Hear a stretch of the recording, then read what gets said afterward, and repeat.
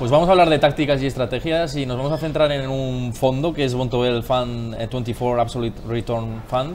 Eh, y para hablar de él se encuentra con nosotros Ricardo Comín, director de ventas de Iberia y Latam para Bontobel. ¿Qué tal? Buenos días. Hola Héctor. No es fácil el nombre del fondo, ¿eh? No es fácil el nombre del fondo, pero sí que puede resultar interesante, sobre todo en un entorno, eh, como decía, que, em, en el que está cambiando el ciclo de las políticas monetarias. ¿Es momento para cambiar el sesgo hacia la renta fija y el crédito con este entorno que digo como tenemos?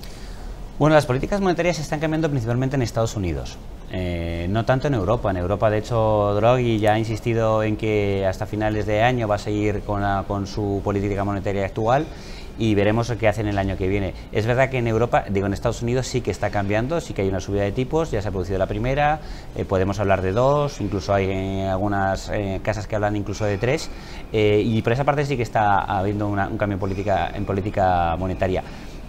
¿Qué es lo que pasa? Europa va por detrás en el ciclo. También es una manera de que nos anuncien que tarde o temprano Europa también habrá un cambio, pero ahora mismo inmediatamente en el próximo año, año y medio no lo vemos.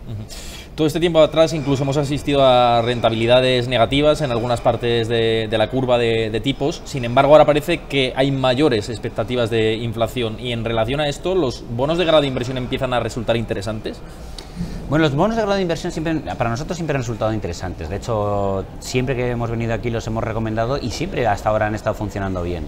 Eh, otra cosa es que es verdad que lo que es, eh, lo que es el, diferencial eh, que pagaban, hemos venido de una época muy buena en la que había mucho diferencial, sobre todo porque habíamos tenido una crisis brutal en 2008 ah, y eso se ha ido estrechando hasta, ahora que, hasta que ahora tenemos ahora muchísimo menos. Pero es verdad que en una política de subida de tipos en Estados Unidos probablemente lo que es el crédito corporativo americano pueda empezar a tener mayor interés pero habrá que tener también cuidado con ellos porque están más adelantados en el ciclo y puede ser que las empresas norteamericanas puedan empezar a hacer algún tipo de impagos si están demasiado apalancadas. Sin más dilación vamos a centrarnos en este fondo que comentaba en la introducción, eh, Bontobel Fund 24 Absolute Return. Eh, ¿Cuál es la principal idea de este fondo? La idea es muy sencilla, el fondo es un fondo de retorno absoluto, pero lo único que tiene retorno absoluto es el objetivo. Es decir, casi todos los fondos que son eh, de, gestión normal lo que hacen es medirse frente a un índice. En este caso, lo que el gestor decidió fue ponerse él su propio objetivo. Y su objetivo es, es Euribor más 250 puntos básicos y con una volatilidad por debajo de 3. Ese es el objetivo que tiene, pero el principal objetivo es no subir nunca de volatilidad por encima de 3 y tratar de alcanzar la rentabilidad que hemos dicho. El año pasado lo alcanzó, este año lleva camino también de alcanzarla y lo hace de una manera muy sencilla, que es simplemente invirtiendo en renta fija corporativa. De una cierta, de una, manera un poco especial, porque él ha, estado averiguando qué es lo que mejor ha funcionado en los últimos 15 años, pero no deja de ser simplemente un fondo de renta fija corporativa. ¿Cómo realizan ese proceso de selección para determinados bonos que introducen en cartera? Bueno, el, gestor lo que hizo, el gestor ha sido anteriormente jefe de, crédito durante varios años en Ignis, ha sido jefe de tipos en Aegon, es decir, es una persona muy que tiene muchísima experiencia en todo lo que es la parte de renta fija y analizó lo que es el comportamiento de la renta fija desde el año 2000 hasta el año 2015. Y quería ver en cuanto a retorno riesgo, es decir, a su, cuánto, cuánto, cómo me paga de bien el riesgo, el riesgo. Y se dio cuenta que el riesgo que mejor pagaba habitualmente era emisiones que estaban por debajo de tres años y emisiones que estaban en el entorno de triple B. A partir de ahí se dio cuenta que, esto pagaba en escenarios de subida y de bajada de tipos y que además también fue capaz de pagar incluso en años tan difíciles como fue el año 2008 y el año 2011. Sobre esa idea es cuando se puso a, trabajar en este fondo y sobre esa idea es en la que, en la que invierte este fondo. Otra de, eh, los temas interesantes eh, que se preguntan muchos inversores es si es para un perfil más bien conservador o para un perfil más agresivo es un perfil eminentemente conservador. Aunque también creo que los perfiles agresivos deberían tener una parte conservadora, es decir, todos deberíamos tener nuestras carteras diversificadas. Pero estamos hablando de volatilidad por debajo de 3. Eh, es una volatilidad muy baja. Eh, hasta ahora el fondo, desde su lanzamiento, que fue agosto del 2015, eh, de media no ha tenido una volatilidad por encima del 1,55. Es decir, es volatilidad muy baja y ha tenido retornos por encima de 3. Con lo cual yo creo que para un inversor conservador es una idea bastante interesante. ¿Cómo han conseguido reducir esa volatilidad? ¿Cómo mantienen esa volatilidad en los niveles eh, en los que se encuentra el fondo? Dos tercios del fondo invierte, en, como hemos dicho, en emisiones corporativas que pueden ser americanas, pueden ser eh, británicas y pueden ser europeas. Emisiones corporativas a menos de tres años y habitualmente lo que hace el gestor es esperar a que venzan, a no ser que ah, se, revaloricen de más mucho y ahí realiza ganancias. Pero lo que hace es esperar a vencimiento y llevarse el cupón. ¿Qué es lo que lo hace? Lo hace con, eh, con, empresas que saben que le van a meter muy poca volatilidad porque el vencimiento está cercano y porque además son empresas muy eh, solventes. Y luego un tercio de la cartera lo hace, lo hace en este caso con eh, opciones más tácticas.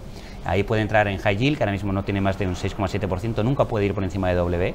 Es difícil que tengamos más de un 10%. Le están gustando también toda la opción de ABS, es decir, eh, crédito hipotecario europeo, porque es muy parecido a un bono flotante. A medida que vayan subiendo los tipos, cada vez van a pagar más estas emisiones. Y luego también puede llegar a, utilizar eh, herramientas de eh, cobertura, pero solamente les va a utilizar como seguros nunca lo va a utilizar en este caso como herramienta de, eh, rentabilidad, porque el fondo nunca se apalanca, nunca eh, utiliza derivados eh, para, como he dicho, para, temas de rentabilidad y, por supuesto, solamente utiliza emisiones low only.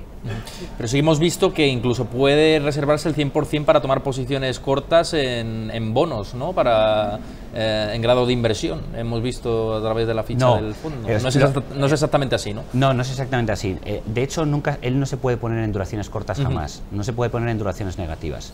Eh, él, no es amigo de las duraciones cortas, de, perdón, de, las posiciones cortas porque como te equivoques tienes un problema importante. Prefieres llevar una, en este caso una, una gestión mucho más tranquila y lo que sí que puede hacer es ponerse corto en tipos o ponerse corto en crédito ¿vale? Pero para proteger la cartera. Por ejemplo, la única vez que lo ha hecho ha sido con el Brexit.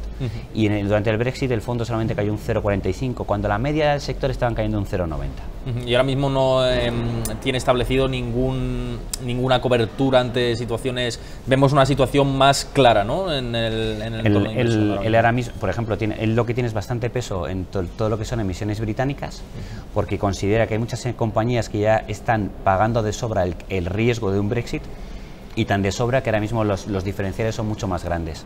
El equivale, el gestor equivale un poco eh, la situación que se vive con algunas emisiones británicas, no solamente eh, empresas inglesas, incluso empresas europeas emitidas en, en, libras, lo equivale a lo que podría ser eh, todo lo que es la deuda subordinada en 2013. había grandes oportunidades, pero como todo lo subordinado a la gente le asustaba, pues nadie lo compraba. Y ahí los, los spreads o los diferenciales se ampliaron mucho.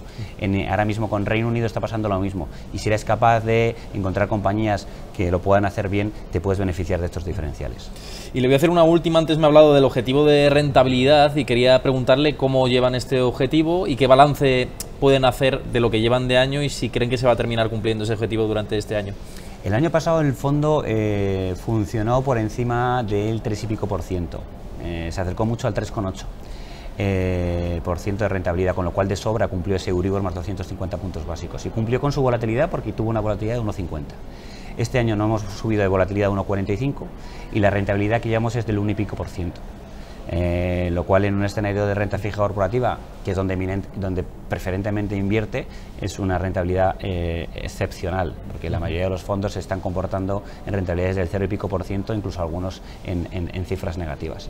Pues Ricardo Comín de Bontobel, como siempre, un placer por recibirle aquí. No, el placer es mío y espero veros pronto.